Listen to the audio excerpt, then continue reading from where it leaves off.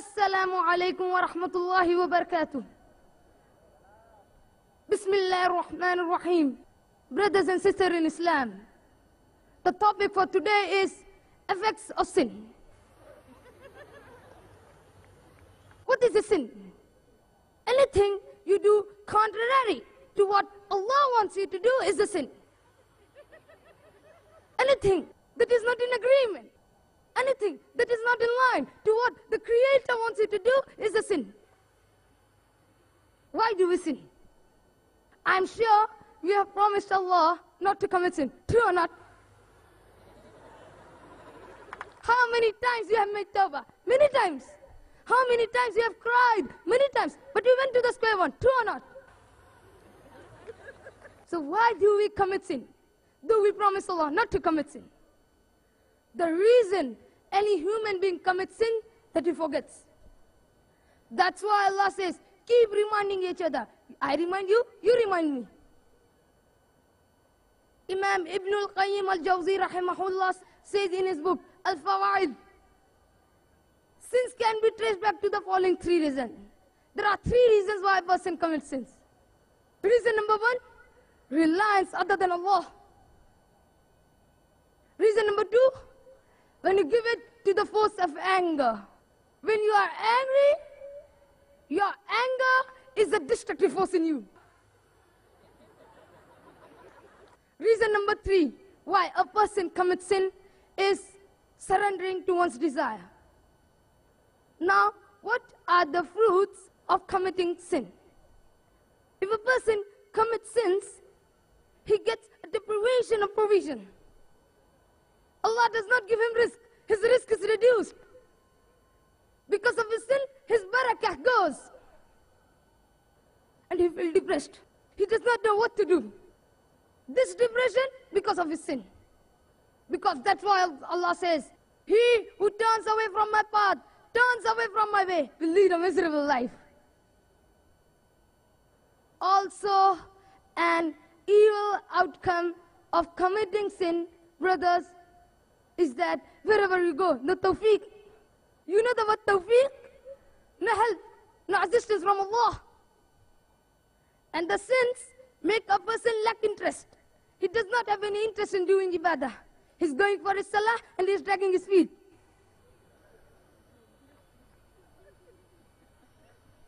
And sins, brothers and sisters, will breed another sin. And the shaitan will never leave you. He will only leave you in one case. If you become a disbeliever. If you leave Islam. Or else the shaitan will be with you from the day one you came into this dunya until you die.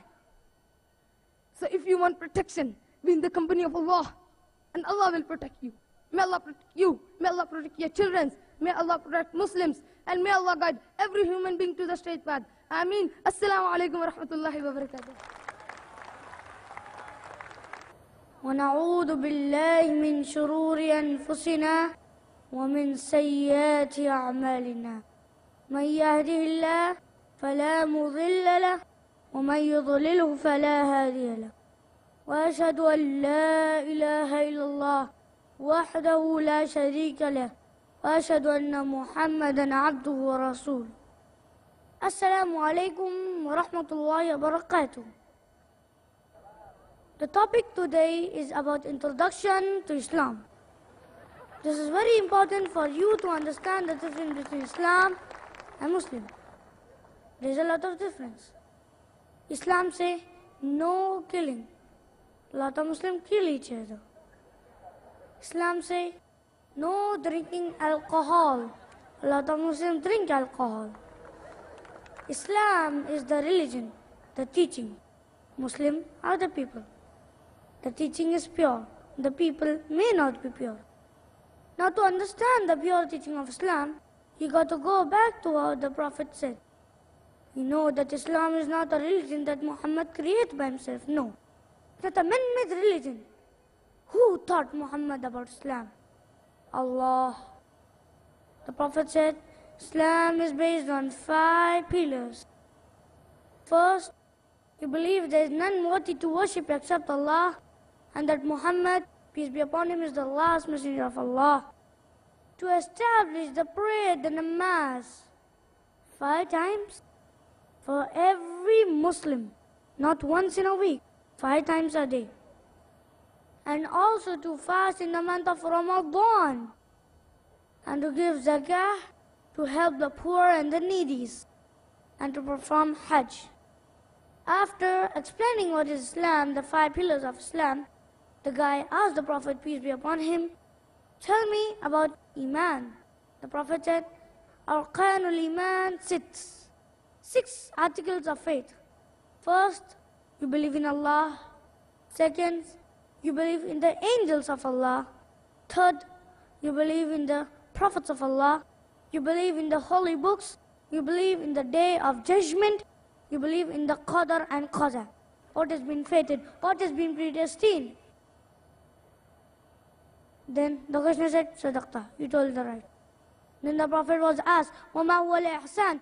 What is ihsan? The Prophet said, Ihsan is to worship Allah as though you see because you cannot see Him with your naked eye, but you believe that Allah is all watching.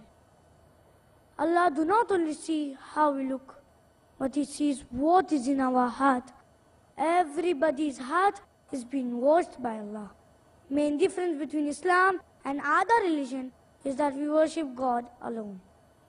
There is no symbol, no image, no idol. We worship Him directly.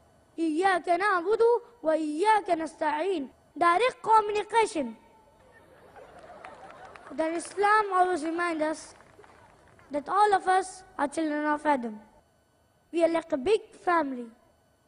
If you believe that what you believe is true, like what I believe that Islam is the only true religion, then it is your duty and my duty to prove to the people that this is the only true religion. Not only by word, by name, by action.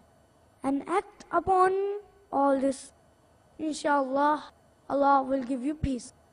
سبحانك اللهم وبحمدك أشهد أن لا إله إلا أنت أستغفرك وأتوب إليك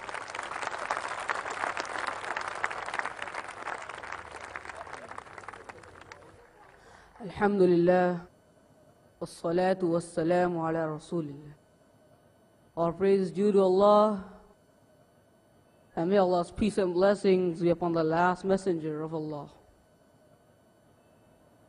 Increasing faith in difficult times is a topic which begins by assuming that we understand what faith is. The definition is belief in the hearts, a statement by the tongue, and action upon the pillars of Islam. The Prophet, may Allah's peace and blessings be upon him, had said, Every heart is covered by a cloud, like a cloud covering the full moon, which causes it to suddenly go dark. But when the cloud passes, the moon shines again. That's the faith. Sometimes comes to a low and comes back again when the cloud passes. Faith increases by good deeds, by doing righteous deeds. By committing sins, faith decreases. If we do what Allah has told us to do in the Quran, the way to raise faith, the way to purify it, as Allah showed us the way in Surah Isra, verse 82. وننزل من القرآن ما هو شفاء ورحمة للمؤمنين I send down from the Quran what is a cure and mercy for the believers. So if our faith has to increase, it has to increase with the sense within ourselves of peace. We have to have inner peace, peace within ourselves for that faith, the iman to grow. But that faith should be based on knowledge. Let's increase it by doing righteous deeds. This gathering is a righteous deed.